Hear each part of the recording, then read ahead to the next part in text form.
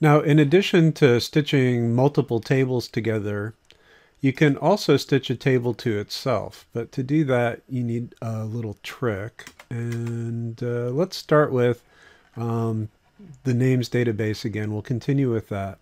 But this time what we want to do is, let's say we want to find for each year the total number of both male and female babies that had a particular name.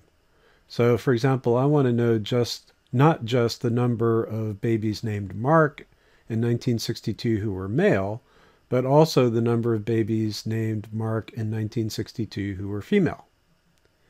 Now, to do that, what I want to do is basically stitch all of this stuff together with all of this stuff, where the year matches, the name matches, but the gender does not match.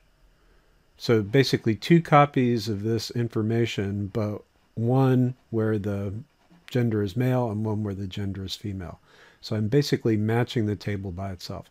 Now I could do that basically by joining all of this stuff together twice and then joining both parts together. It starts to get a little complicated. So I'm going to take a simpler version first and then we'll do the full-blown um, gory details um, version. So um, for the simple version, I'm going to start with the all data view. So let's select star, top 50 star from all data, because those are basically this pre-joined here. So here's the pre-joined information, um, has one copy of each of the IDs. There's a um, name counts ID, a name ID, your gender total ID, but then I've just dropped the duplicate columns that had the same values. So what I want to do is I want to join all data to itself from all data, join all data on, and then what do I want to match? So I want to match either the name or the name ID, doesn't matter um, because the way the table is set up, each name ID is going to be one-to-one with each name.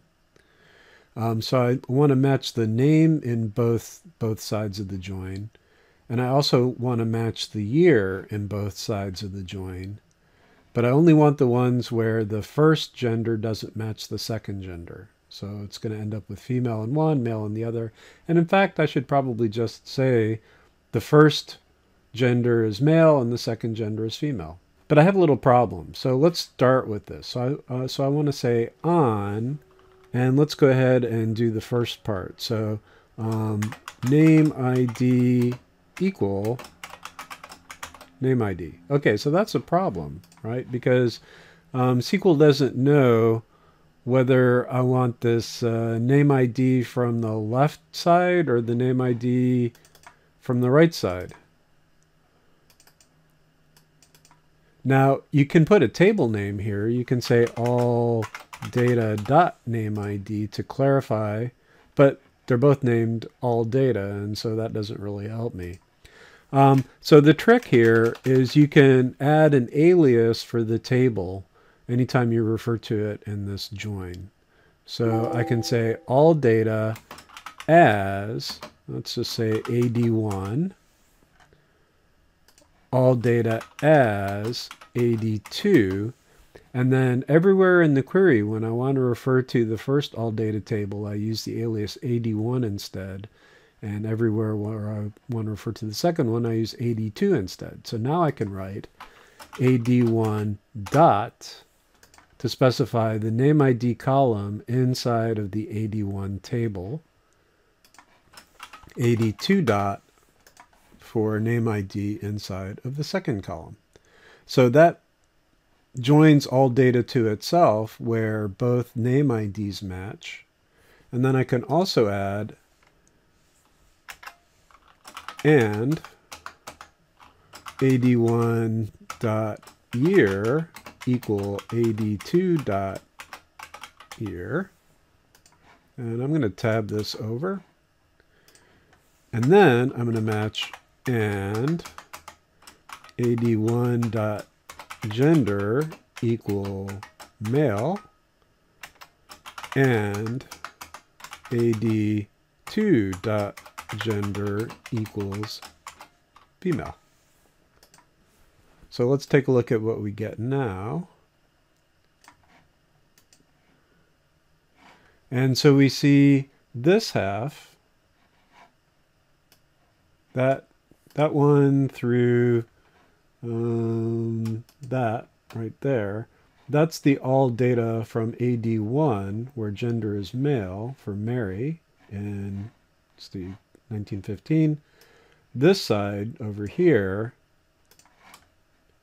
that's all data 2 from 1915 name Mary where gender is female. And so I can pull out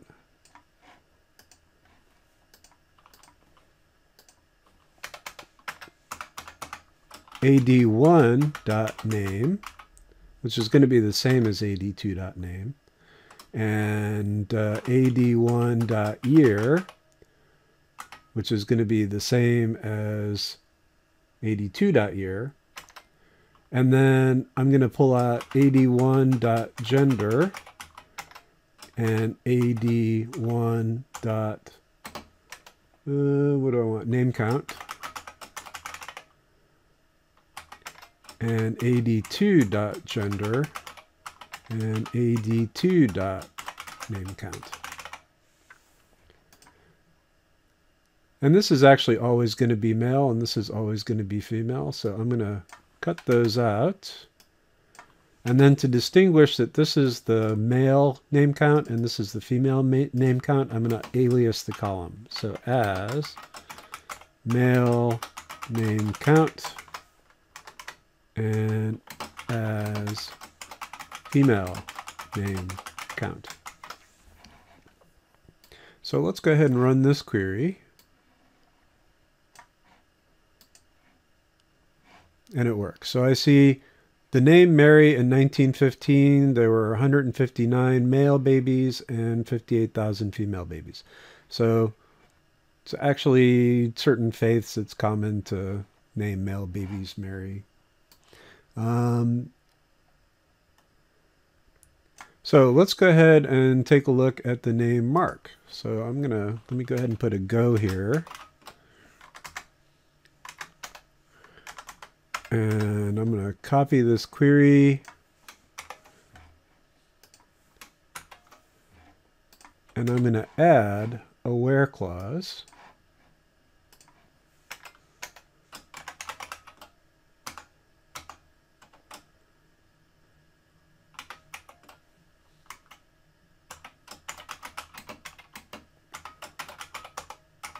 Like so. And then let's go ahead and order by.